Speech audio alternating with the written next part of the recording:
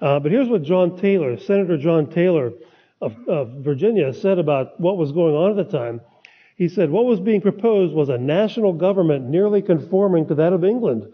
By Colonel Hamilton's project, the states were fairly and openly to be restored to the rank of provinces and to be made as, in, as dependent upon a supreme national government as they had been upon a supreme British government.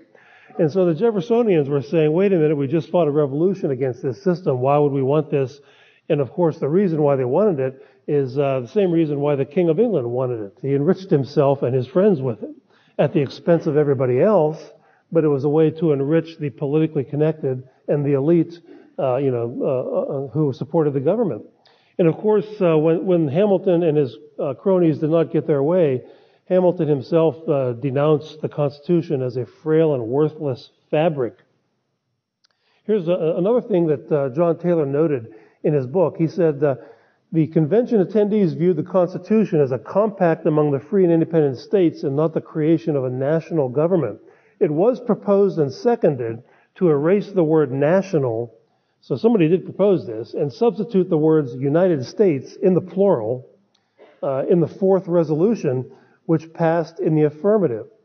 Thus, we see an opinion expressed at the Constitutional Convention that the phrase, quote, United States did not mean a consolidated American people or nation, and all the inferences in favor of a national government are overthrown. In all the founding documents, by the way, the, the words United States are always in the plural, meaning the free, independent, and sovereign states are united in creating a, a compact or a confederacy to achieve certain ends. It, there was no such idea of something called the United States government, the, the monolithic leviathan that exists in Washington, D.C. today.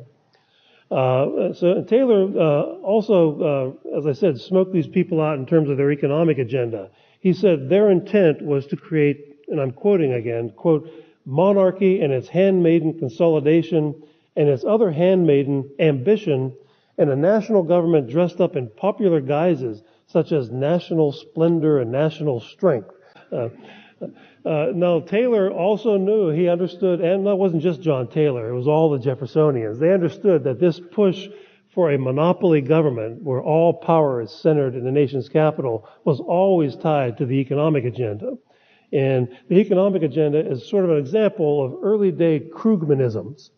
Uh, in other words, it, sound, it was convoluted, ass backwards economics of the sort that you would read in a typical Paul Krugman New York Times column. Here's, here's what John Taylor wrote in 1823 about what these people were up to. he's saying, he's mocking their economic arguments. He's saying, here's what they're saying. They're saying this, quote, I'm quoting John Taylor. The greater the government revenue, the richer are the people. So the more they tax you, the richer you are. So that frugality in the government is an evil thing. But in the people, it's a good thing. So get, the more of your money you give the government, and the more you let the government spend, that's a good thing. Saying. That monopolies and exclusive privileges promote the general welfare. And you have to understand that uh, the battle over the Constitution at the time was between the Jefferson, who, who saw the document as something that would bind government in chains. His famous phrase was, government needs to be bound by the chains of the Constitution. The Hamiltonians, totally the opposite. They saw this document as, if it was properly interpreted by clever lawyers like themselves, as a potential rubber stamp on anything the government would ever do. As long as you could get enough government judges on the Supreme Court who are like-minded to go along with rubber stamping everything, then it could be a useful document. And uh, one of the historian, one of the historians of Hamilton, a biographer of Hamilton, uh, said this of him. He said, "It seems certain that Hamilton, had he had his way, would have affixed a certain certificate of constitutionality to every last tax. Hamilton took a large view of the power of Congress to tax because he took a large view of the power to spend." And